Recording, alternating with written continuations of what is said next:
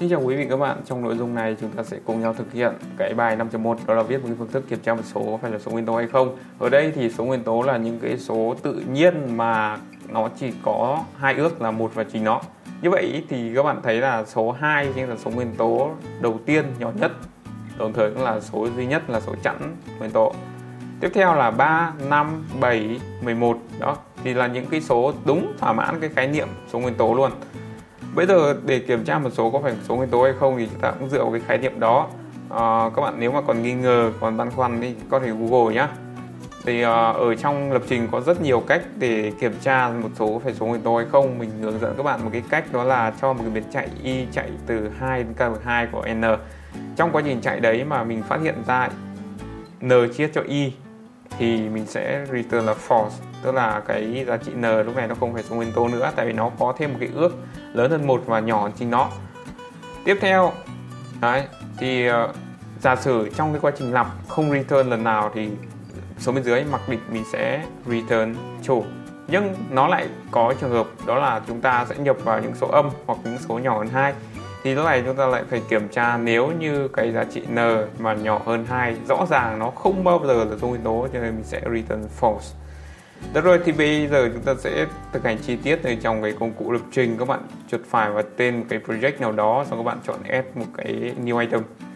Và các bạn đặt tên, đây là bài 51 Đấy. Thì trong này các bạn sẽ viết một cái phương thức đó là static void main.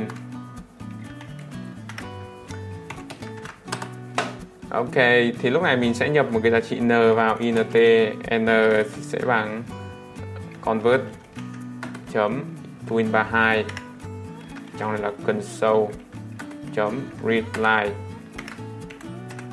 và sau khi thực hiện đấy, thì mình sẽ ờ, có một cái biến bool. Kết quả đấy kết quả bằng kiểm tra nguyên tố.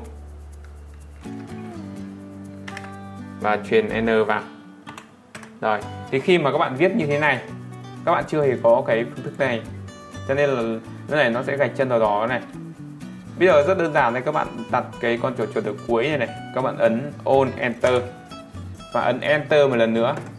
Để nó tự động sinh ra cho các bạn một cái phương thức như thế này. Và lúc này các bạn không biết private là cái gì thì xóa nó đi. Đấy. Chợ. thì ở trong đây ờ, chúng ta sẽ kiểm tra. Nếu như n là số nguyên tố. Đấy, thì n mà nhỏ hơn hai thì rõ ràng n không phải là số nguyên tố rồi. Nên là Ctrl Z. Chỗ này là return false như thế này. Cả rồi, nếu như nhỏ hơn hai thì return false nếu không nhỏ hơn hai thì mình sẽ có một vòng for cho y bắt đầu từ hai. Bắt đầu từ hai nhá nhỏ hơn hoặc bằng math.sqrt sqrt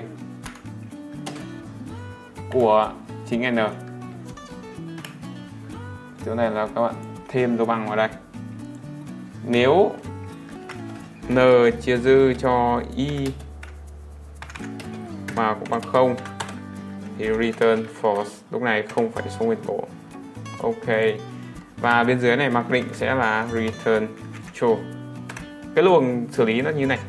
Đầu tiên, nó kiểm tra n nhỏ hơn hai không. Nếu nhỏ hơn hai, rõ ràng không phải số nguyên tố return false kết thúc.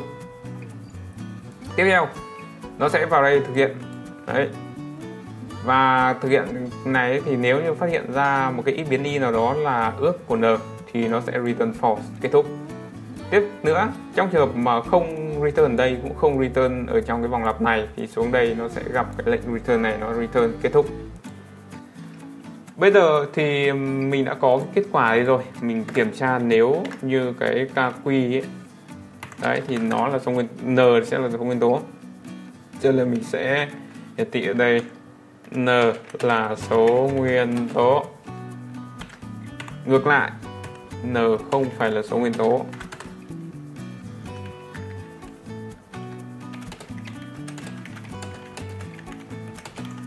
Đó. Đơn giản đúng không nào? Bây giờ mình chạy. Nhập một số n vào. Đây ở đây mình không có hiển thị gì cả. Nghĩa là các bạn nhập một số n vào. Ví dụ số 5 n là số nguyên tố. Để hiển thị ra n là cái gì thì các bạn điền vào đây thôi. Ví dụ mình sẽ để cái này là theo cái kiểu là điền thằng n ở đây đi.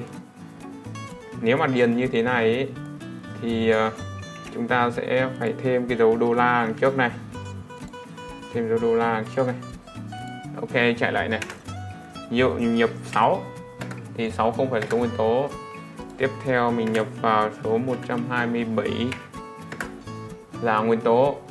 Tiếp theo mình sẽ nhập vào một số bất kỳ đi.